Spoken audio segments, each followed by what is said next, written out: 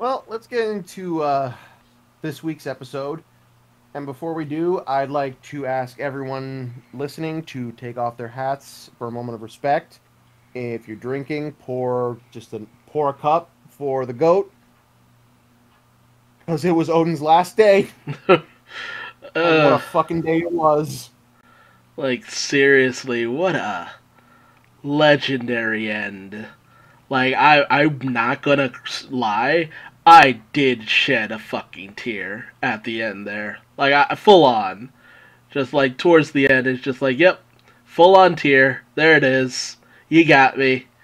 I, I, I didn't think I'd care too much, but I did. I think I saved myself from crying by finishing the uh, the phrase before you know the rest of the crowd did.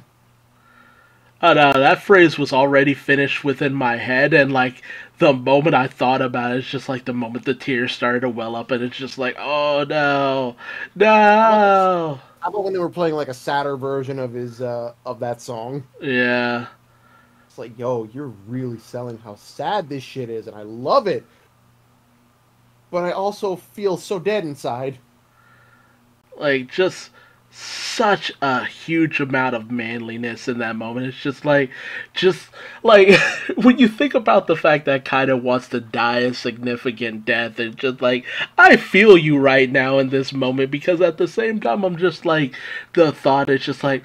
I'll just be happy if I'm a good story over a cup of sake. I'm just like, God damn, that's a badass statement Yeah. a, a full on hero luck moment. It's just like a man only truly dies when he is forgotten, and the legend of Oden will never be forgotten. Fuck no. Oden, Oden, like I said, is the goat. Everything we've seen of him so far has been proof of that. Oden was like, I don't, know, I don't know what else to say. Oden was the shit. I loved him, and I'm beyond disappointed that he died. But, you know, you realize that it's for the narrative's sake, it's meant to spur on the vassals. Yeah, And not just the vassals, the whole of Wano too. all of Wano was on Oden's side at that point.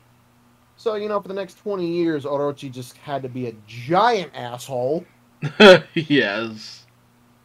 Oh god, what a dick. Yeah. Pure 100% little dick energy. He's got one point of PP energy. Oh, and what's that? Just one. No, no, just one point. Whereas, like, whereas like characters like Luffy or Zoro are in like the millions, Orochi has exactly one. The absolute chode energy coming off them is just eclipsing. He has a tic tac. Let me put it that way. oh, That's the kind of PP energy he's giving off. Eh, I mean, ultimately, that's what it came down to. It's just like Oden knew what was going to happen regardless. It's just like, yeah, I'm, I'm definitely going to die here. There's no way they're going to just let us off the hook or anything like that. But it served as a way of just making sure the people knew what Orochi was about, knew the kind of dishonorable bastard that he is. And it's just like, you can't trust this man. There's no bargaining with this man. Do what you can to survive until he can finally be toppled. That's ultimately what he, the message that Oden was trying to get across. It's just like, this man is the most reprehensible person imaginable. Do what you can to live through this. You know what? You know what really, really sucks. As much as I hate to say it, I feel Orochi's motive though. Oh yeah, when yeah. like, don't get me wrong. You know what he's doing as a result is fucking terrible. But y'all, I might have done the same shit if y'all punished my whole ass family for the sins of my grandfather. Like I'm, the man was like this man was eight years old when these dudes rolled up on him trying to kill him. Kill him. I mean, I get why you're upset about that, but damn, bro, you're trying to just destroy a whole ass country for that. See, and that's the sad thing too. It's just like had Oden met Orochi like much earlier on in their lives, you know that he would have easily taken him on as a true person, like the like the lie that he put forward to Sukiyaki and the rest of it, like, oh, me and Oden are best friends, like, we really care about each other, blah, blah, blah. Like, it easily would have been made true, because Oden's just that kind of a dude. He doesn't care about who you are, he cares about what you do. But no, you know, Orochi had to just grow up angry and bitter, and you, there's no blaming him for feeling that way. It's just like the it's that just that the methods that he chose to go about all that anger and bitterness just entirely reprehensible. I mean, his soul is rotten to the core. Granted, uh, Higurashi wasn't really the best influence when you think about it. No, Higurashi set so many things into motion that let's be honest, ended up getting her ass killed in the end. Uh, like, all this, and you still ended up dying because of all these ambitions. I think for the most part, like, Kaido just kind of killed her because, like, bitch, you had to steal that victory for me and you couldn't let me have it on my own? Nah, fuck you. I honestly, legitimately think Kaido wanted to just, like, when he and Oden were, like, just about to clash and then you know Higurashi comes in disguising herself as Momo.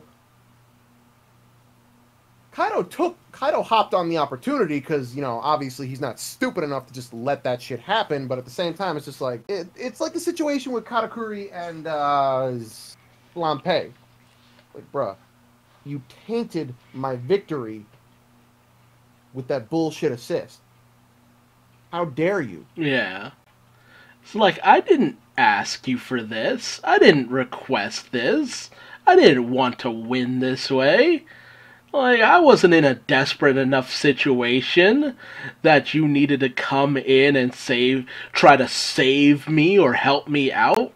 How dare you? More or less. I'm not gonna lie though. This ep- that this past episode was really, really hard to watch.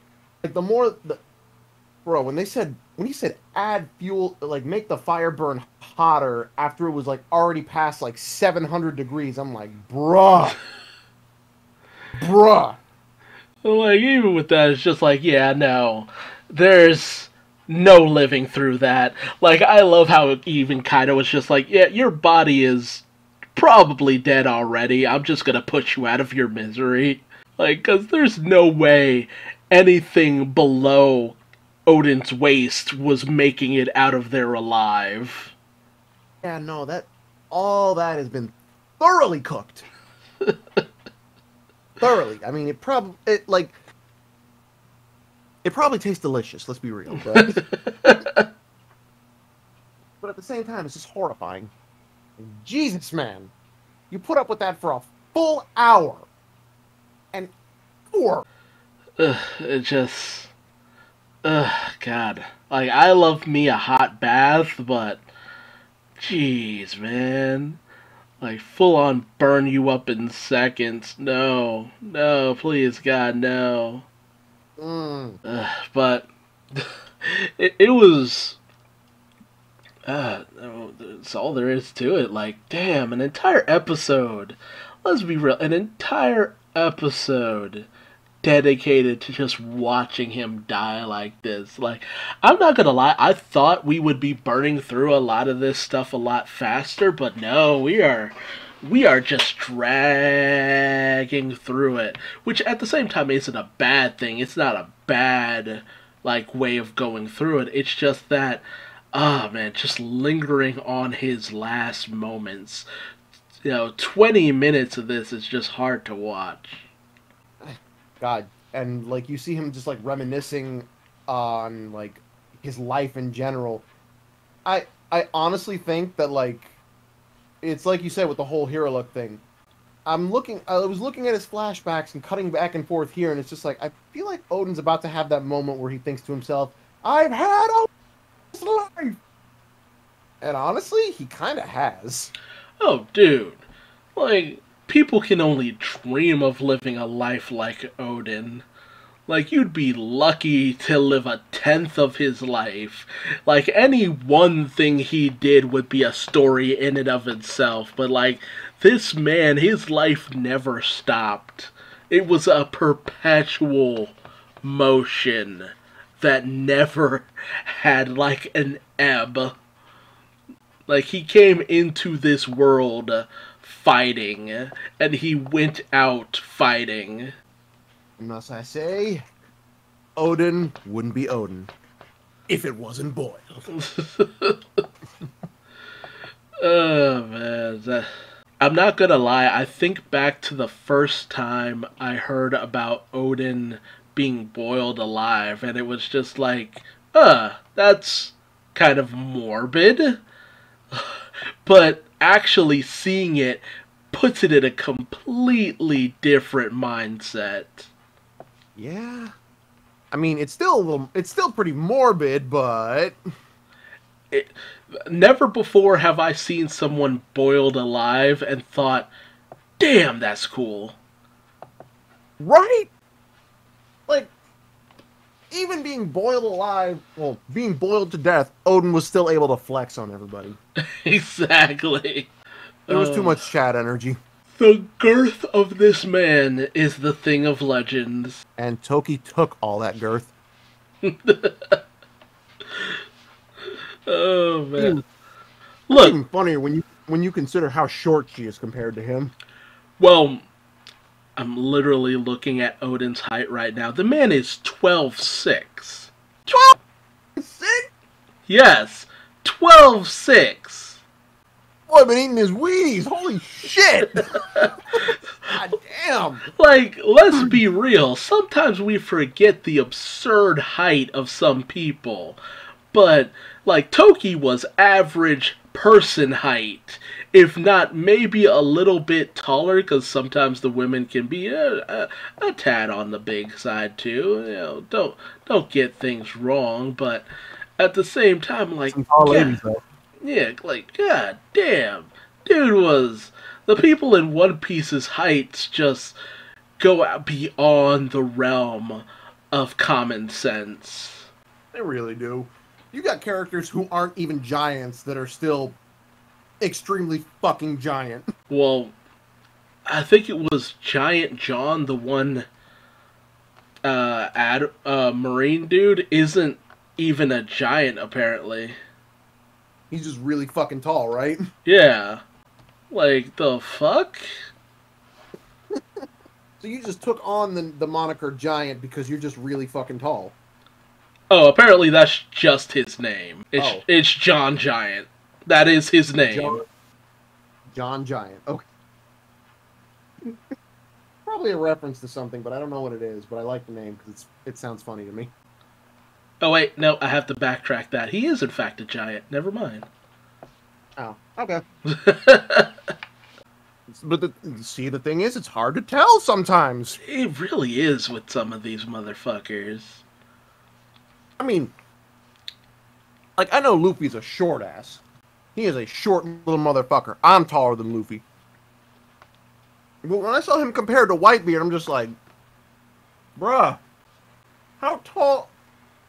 Do you eat your Wheaties too? You are tall as shit, old man.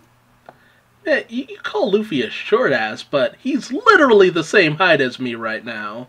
Uh, Motherfucker is five eight. Five eight. Huh. Okay, he's shorter than me, so that's why I called him short ass. But he's the shortest. Okay, not counting Chopper, Luffy is the shortest member of the Straw Hats. I guess so. I've I've never remember, actually thought about that. I remember looking up their heights. Um, At Luffy the... has. Yeah. Luffy has the shortest. Yeah, Luffy's the shortest out of all of them, excluding Chopper because his size varies. Yeah, he started. Luffy started off five seven. After time skip, became five eight. Yeah, he is the shortest. Wild. I've Never actually thought about that. What weird. Like, what, wait, what height is? Was, I think maybe it was because I was looking up their height for reference, and then I found out. Nope, Nami is the shortest. She started off five six. She is currently five seven. Luffy is a close second for shortest of the Straw Hats. All right. Well, that's all I got for One Piece. Yeah, dude, dude, we uh, we ran that conversation as much as we could, but let's be real. There's only so much to talk about in regards to this. Oden was epic. His vassals escaped. Let's see how far they can get. Even though we already know how far they're gonna get. Exactly. Spoilers. It's a flashback.